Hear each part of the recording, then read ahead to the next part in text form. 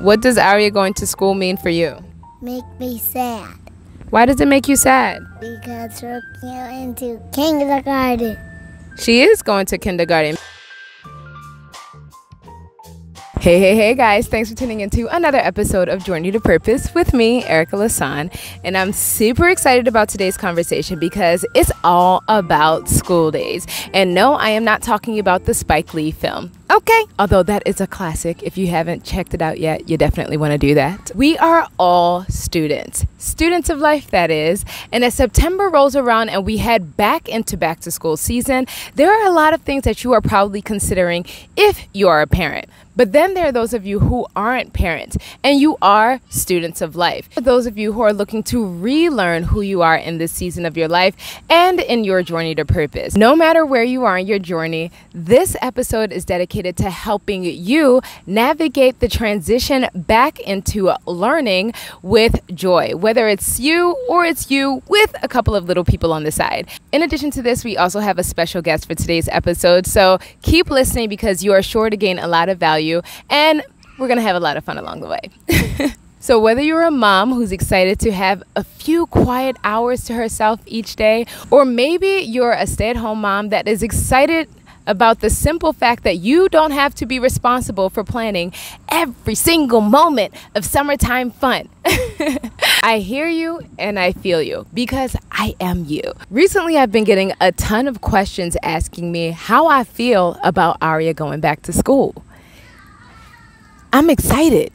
I know what it's like to be with Aria 24 7, 365 because I've been doing that for the past five years. Now is the time for Aria to spread her wings and take flight in the real world. I am excited for her to be learning, but if I'm being completely honest, given the fact that Aria's school is only going to be three hours because of the fact that we're still in a pandemic. They're not doing full day kindergarten. And so I do have a bit of um, reservation about that because, in my mind, how much will she be able to learn in three hours? Part of me is a little bummed about the fact that she won't be getting the full six hour kindergarten experience.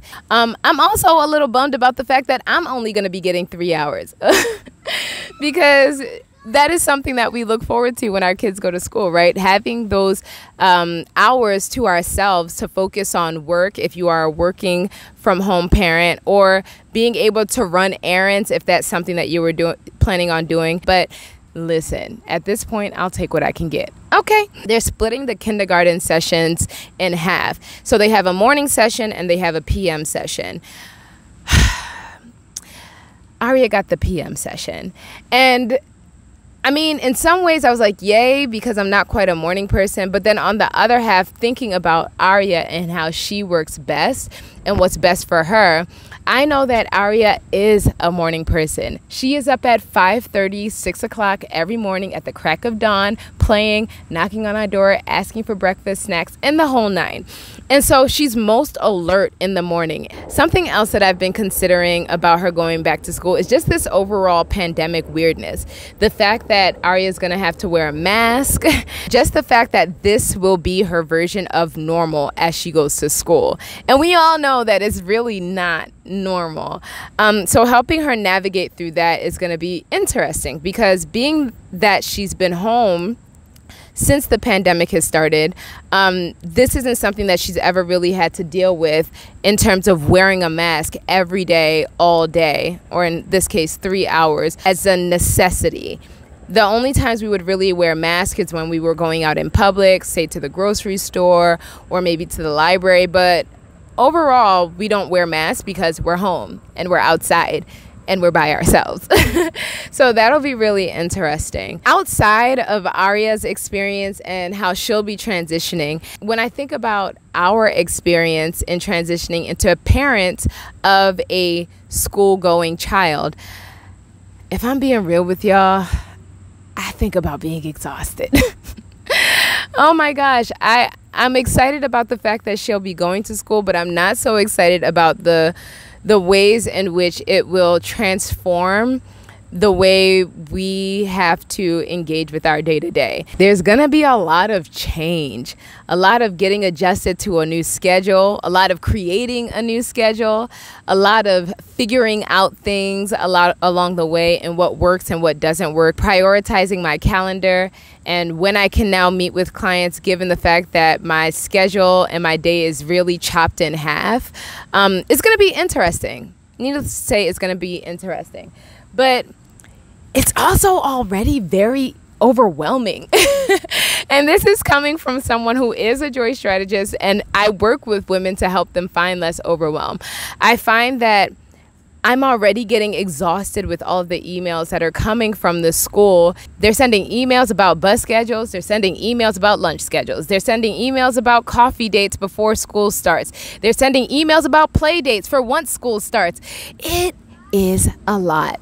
But I have taken the approach that I also teach and preach to my clients of embracing the journey one feel good thing at a time. And I'm anchoring myself with a practice of gratitude and remembering that this is all good. This is all actually a blessing. And there are also very many things to be grateful about as far as this entire experience. I ground myself in gratitude thinking about the fact that I'm glad Aria gets an opportunity to get an education. So many kids around the world don't have that. I'm grateful for the fact that I have technology to keep me up to date with the things that are necessary in order to manage her transition back to school well.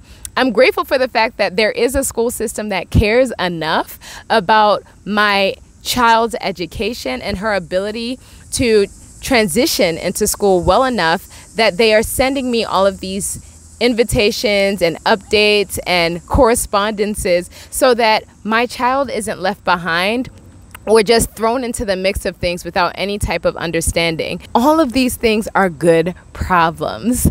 And then there's also a piece in understanding that this too shall pass.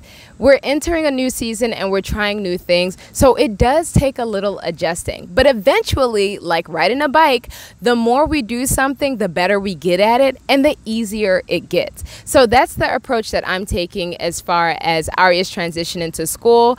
One feel good thing. Remembering to focus on one feel good thing at a time, take it one breath at a time, one day at a time, and understanding that there is joy to be had throughout this entire process. But I'll definitely be sharing some solutions to help you who are moms who may be feeling the overwhelm already in the same way. If gratitude isn't enough for you and you are looking for tangible solutions to help you in this process, I'll be sharing some of those later on in the episode. But in the meantime, I also wanted to share some questions that I get for Aria.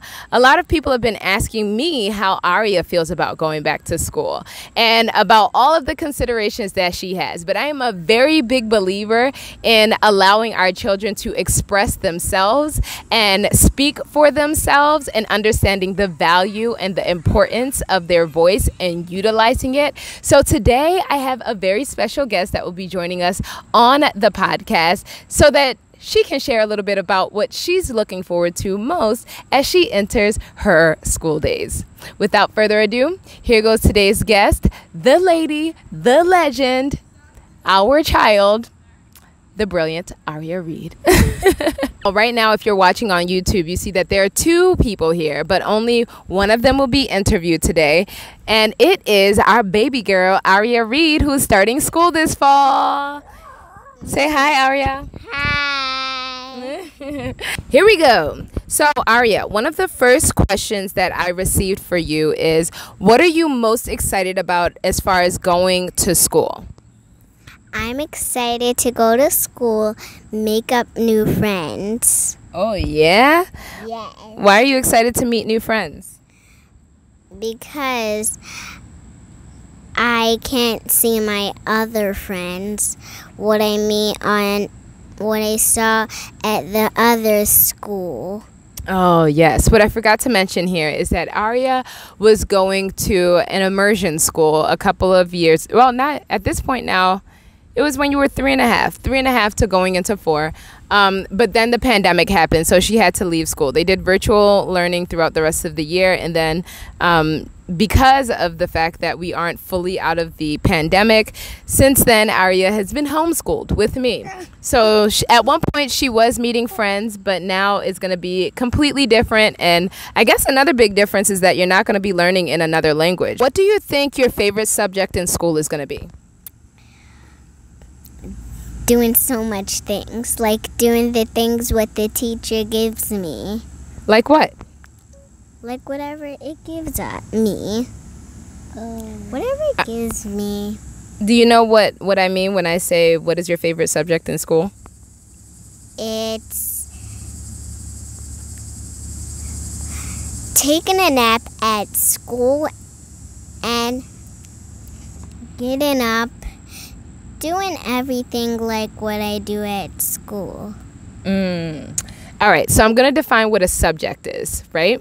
As far as classes. So when you have a subject in school, you have like reading, writing, math, social studies and science, arts and crafts. You have music. What's another subject? Um, gym Videos. is a well, you know, you may be right. Nowadays, videos may be a subject. they weren't a subject when I was going to school, but they may be a subject for you. I, I, w- I was doing that like when I was at Jump Immersion School. Oh, that is true. Oh, so, all right. With all of that being said, now that you understand a little bit better what a subject is, what do you think your favorite subject in school is going to be? Doing what I do. Like what the teacher gives me to do. Okay, your answer is still still still stays the same. I'll take it. So basically, you're going to be a very studious student that follows instructions. Right. I love it. So, what is the thing that you want to learn about most in school? Everything. A girl after my own heart. That's right. There is so much to learn about and know about and experience, right? Right. now let's think beyond schooling and what you will gain as far as school. And thinking about the grand scheme of life, your life, and how schooling will help you as you grow up. What do you want to be when you grow up? A doctor. Ooh, a doctor. Y'all, we're going to have a doctor in the family. Okay. Do you know that if you're going to be a doctor, you have to study a lot of math and science? Yes. Are you down for the challenge? Yes. Do you like math and science? Yes. You do? Yes. What do you like about math and science? So much. Like what? Color, do things. With math and science? Yes. you know, well, i uh, I'll take it. Maybe you got a different type of math and sciences happening in your mind. but how do you think that going to school will help you in the future and in your goal of becoming a doctor? I don't know. Girl, most parents who are listening to this will probably tell you that you're right and they don't know either because so much of what we study is not actually what we end up doing in life. This brings us to the last question of this interview today, and it is a biggie. Are you ready for it? Yes. Okay, the last question is what brings you joy right now? Coloring and doing this episode. What? Okay, so I knew about coloring, but I didn't know that this episode would bring you so much joy. Why does it bring you so much joy? Because I didn't know you was going to say it. You didn't know that I was going to say what? Mommy does like to do her interviews on the fly. I didn't know if you would be just like doing this. Like, I didn't know you was letting me edit the podcast too. Oh, girl, you're not editing the podcast. I wish you could edit the podcast. At some point, since you like to be all up in my business anyway, we are going to put you on payroll and you can most certainly edit the podcast. but right now, we need you to learn the basics, okay? Reading, writing, and arithmetic so that you can help us in our Journey to Purpose business. Sound good? Yes. So, what does that mean you're going to do in school? learn. I love it. All right. I think that you're going to do really well in school this year, and I'm really excited to learn about all of the great things that you learn while you're away. Yeah? Yes. All right. See you later. Those of you who are listening to this episode and not watching on YouTube aren't seeing what's happening. As I was asking Aria a couple of que- questions, Jace wanted to get in on the action. So we're going to ask him a couple of questions. All right, Jace, what are you most excited to learn about while Aria is in school? Uh, truxes. You're excited to learn about truxes. Okay. What about your ABCs and your one, two, threes? Are you going to learn about your ABCs and one, two, threes? Yes. Yes. What is your favorite color? Blue. What is your favorite number? Three. What's your favorite number? Three. That's my favorite number. Did you know that? Okay. Since you are so smart and you are going to be at home learning a little bit more with mommy, I want to ask you if you can count to five. Can you count to five? One, two, three, four. Well, there are five fingers up, and I guess we made it to the number four. Let's add one more. The answer is five. I think you did a great job. Two, three, four. All right, so I guess you can count to four. We got a little more work to do. Uh, one more question for you. What is one thing that brings you joy right now, Jace? Joy. Yeah, what brings you joy? Playing with Aria. Playing with Aria. Oh, but now that Aria is going to school, how do you feel about Aria going to school? Not good. Why? Because I said about Aria. Why? Because um Aria will going to school. What does Aria going to school mean for you? Make me sad. Why does it make you sad? Because we're going to kindergarten. She is going to kindergarten, but that's good because that means she's going to learn a lot of things and then she can come back and kindergarten. Yes, Aria is going to kindergarten, but it's good because then that means she's going to learn a lot of things that she can come back and share with you. And it make me play. And then she will teach you and then you can play. Yes. Okay. Well, those are all the questions I got for you. You guys can go back to playing. Thank you for being on the podcast. Thank you. Thank you. Bye. Wasn't that so much fun? They are the absolute cutest. Like sometimes I think, dang, Lord, thank you for blessing me so much. They, they bring so much joy to my life. That was really fun. I hope that you guys enjoyed the conversation. But now that we've had a conversation, now it's time to dive into the solutions. For those of you who are parents and you are feeling a little overwhelmed by it all, how to find more back to school joy, even with the craziness that is sure to ensue. I'm here to bring those solutions to you, baby. And there are three in particular that I want to share with you guys. The first solution is to remember that life is a game. Remember to have a little fun, okay? Getting an education is a serious business.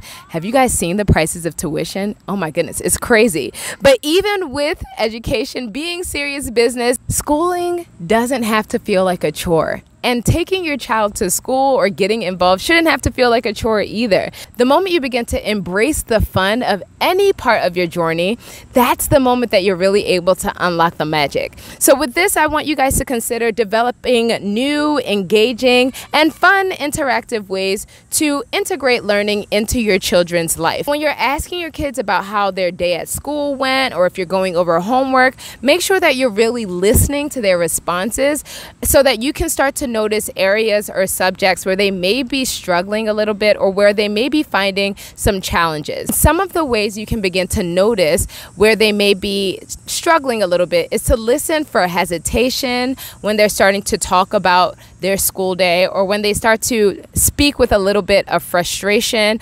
Um, in moments like that, take note. These are opportunities for you to create a new mindset around their experience of the part of their schooling that they're struggling with the most. If you need help figuring out ways to help them find more joy or fun in that learning, then you can totally dig into a brainstorming session with some friends and family. Or if you are looking to align yourself with a joy strategist, then you can definitely head over to my site, ericalasan.com, and you can book a one on one brainstorming session. You can turn it into a game and you can find supporting tools to support your child in engaging with those areas that they may find challenging with a new perspective. The point here is that you want to encourage learning, but also understanding that there is fun to be had in creating new fun ways to learn together. And you'll be surprised at what you pick up along the way, too. The second solution is to remember that routines rule. And the reason why I say this is because oftentimes when people think of routines, especially if you're a visionary, as I am, you think of all of the things that you can't do because they're outside of the scope of your routine. And you think of all of the ways that you may be limited and the ways that you can't engage freely with the rest of your day. But remember, routines are simply an outline, a structure for you to follow as you're going into each day. And what you'll find is that routines actually don't inhibit you from living freely, but they actually give you space to live freely because you have a plan for how your day should go. You do the things in the allotted time slots, and then you know where you have pockets of time to play or engage in other things. But you also gain an awareness of one, how you're using your time, and two, more importantly, the ways in which the things that you're doing with your time are actually benefiting you overall. As you are establishing your routine, the first step in doing this is to create a vision. And I'm so big on vision. You guys know I talk about vision all the time. I have a whole six week workshop all about vision casting. How do you want your days to feel? How do you want your days to go? What do you want them to taste like? As you do this exercise of really engaging with a visual or a vision of how you want your days to go, then you can begin to create a routine that reflects that vision. And with this, you will find that you'll gain so much freedom because you'll get all of the worky things out of the day. And once those are done, you can focus on all of your free time and really engage in your play. Which brings me to the third solution juggling your joy. And as I'm saying this, many of you who are moms are probably thinking, What joy? I have no time for joy. There's too much to do all the time. I have to be all of the places. I have to do all the things. I have to involve myself with everybody's stuff. So, first and foremost, for all of you who are moms who are listening, I need you to engage in some joy for yourself each day. If you need some guidance in how to even begin doing that and what that even looks like, I have the Joy Quest, which is on my site, and that is an exercise that will help you in that process. But when I speak about juggling joy, I'm talking about you as a family unit. Don't waste the little free time that you have each day trying to figure out what to do. okay? If you have some things on tap that you enjoy doing as a family, it makes it a lot easier for you to know how to utilize your free time in a constructive and a productive way that also elevates and amplifies the feel good feels. So rather than searching for things to do, keep your joy on demand so that anytime you have any free time or downtime, then you can engage in those things. And it's a matter of simply picking which of these things do we want to do today. Woo. All right. I know that that's a lot of information, but I hope that these three solutions help you in your journey of going back to school and engaging with your school days. But you guys know I have to bring it all together and tie this episode up with some joy gems, right? I know you guys were waiting for the joy gems, so here I am ready to drop them. The first joy gem that I have comes from 2 Corinthians 4 8, and it says, We are hard pressed on every side, but not crushed, perplexed, but not in despair, persecuted, but not abandoned, struck down, but not destroyed. And while the scripture sounds very heavy, um, it is actually very applicable to life as a parent as your children are going back to school. Because as moms, as parents, it can feel as though you're hard pressed on every side. And it can feel as though you are crushed, but you're not crushed. It can feel as though there's so much confusion and complexity in going back to school and engaging with all the new things that come up as you are going into school, but you are not in despair well, hopefully you're not being persecuted, although there's a lot of that happening in the world right now. So please keep those who are around the world in prayer. I say all this to say that while these times come with a lot of heaviness and it comes with a lot of work and it comes with a lot of need for structure and rearranging and reprioritizing. This too shall pass. There's so much that is involved in this time, but it's only but for a short while. At some point, you'll get a rhythm you will gain a routine, you will hit a flow, and then the process will become a lot easier. Trouble doesn't last always. and the second joy gem that I have for you guys comes from Hebrews 12 2. And it says, Let's fix our eyes on Jesus, the author and perfecter of our faith, who for the joy set before him endured the cross, scorning its shame, and sat down at the right hand of God. And now I'm not comparing us as parents, mothers specifically, to Jesus, okay? Because we are not Jesus, but we all need Jesus. Can I get an amen? but I share this verse because of the part where it mentions that Jesus for the joy set before him, endured the cross, scorning its shame, so that he could sit down at the right hand of God. Jesus, before he was sent to be crucified, knew why he was being crucified. And it's so funny because Aria actually spoke to me about this this morning when I was talking about the freedom and the joy that comes with our freedom because of the fact that we have faith, but how we were only able to gain this faith because of the fact that Jesus was willing to sacrifice himself so we would have access to faith in its entirety. And when I mentioned this to her, she said, But it's not good because Jesus had to die. Yes, but it's because he was willing to die that we are now able to receive the gift of our faith.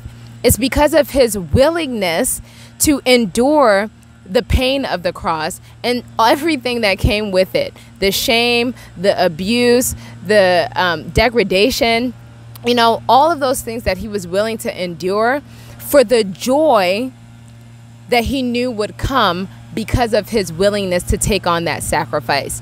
As parents, we sacrifice a lot. As moms, we sacrifice a lot. We sacrifice our time, we sacrifice our energy, we sacrifice our bodies. But we do it because of the joy that we know we'll gain as parents. This time and all the sacrifices that come with it will benefit not only our homes and our children as they become educated and they grow into fully purposed adults, but we'll also experience that joy in our societies. And with doing this, they're able to then make the world a better place. And I can go on and on talking about all of these things, but Aria is hungry. She's coming over here talking about how hungry she is. And I'm also hungry. So I'm going to wrap this episode up soon. But the point is, the moment you're able to set your eyes on the joy set before you, as you are able to think about the ways that your sacrifice in this moment is actually putting you on path for your purpose, let that be your motivation. We've pretty much made it through the meat and the potatoes of this episode, but I have a question for you. How many of you are entering a season of learning and self discovery for yourself? How many of you are relearning or maybe you're unlearning? And how could a journey to purpose help you on your quest to self discovery? If you have an awareness of your need to find your joy or rediscover yourself or understand yourself better in this season of your life, I would love to invite you to visit my site, ericalasan.com, and take the Joy Quest. As you go through the Joy Quest, you'll be able to engage with a vision of what you really desire for your life to be like, feel like, look like, taste like, and all the things. But more importantly, by the end of this self paced program, and it only takes 45 minutes to an hour, you'll have clarity in your vision, you'll have an understanding and a roadmap of what it takes to get you there, as well as a process to make sure that you stay there. But lastly, and more importantly, you'll have the ability to give yourself permission to actually pursue a life of joy, unapologetically. And with this, you'll gain the confidence to live a life of freedom that will actually put you on path for your purpose so that you can start living the life of your dreams starting today. Not only do you deserve it, but the world needs you. They need your gifts, they need your talents, they need everything that you have to offer, but more importantly, they need you happy, whole, and healed. And the Joy Quest can help you get there. Overall, this has been a really long episode, but I hope that you guys enjoy it. If you like this video, if you're watching on YouTube, please give it a thumbs up and subscribe. If you are listening to this episode on a streaming platform where you can rate it or comment, please do that. I'd love to hear what some of your biggest takeaways from the episodes have been. But if you also found immense value in this conversation, share it. I would love it if you could share it with another person who would gain value from the conversation as well. If you'd like to learn a little bit more about me and my journey to purpose, you can follow me across social media at Erica Lasan. Instagram is mainly where I play. With all of that said, I want to thank you again for listening to this week's episode, and I look forward to chatting with you again next week as we journey to purpose. And we're going to be talking about making investments, okay? I'm talking about investing in yourself, baby, because the greatest investment that you can make is you. I'm getting a little ahead of myself because I'm very excited. for this conversation if you can't tell already. So I look forward to chatting with you again next week. And until then, remember, we are on this journey together, one feel good thing at a time. Have a great week, and we'll chat next Sunday. Bye.